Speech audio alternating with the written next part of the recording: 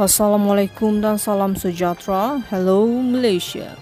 Terima kasih kerana telah memilih channel ini.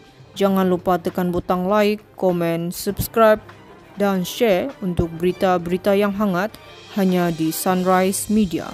Terima kasih. Anak Datuk Seri Najib Tun Razak Nuriana Najwa bakal bertanding jawatan Esko Puteri AMNO pada pemilihan parti kali ini. Menerusi muat naik di Facebook, Ahli Majlis Kerja Tertinggi AMNO, Datuk Dr. Muhammad Fuad Zarkashi mengesahkan perkara berkenaan.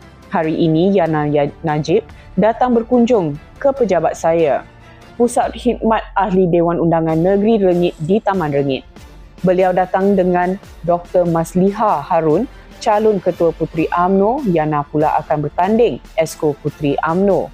Selamat maju jaya tulisnya. Noriana yang juga ahli AMNO Lembah Pantai dilaporkan aktif membantu kempen pilihan raya umum ke-15 lalu antaranya di Perlis, Perak, Kedah, Pulau Pinang, Pahang dan Johor.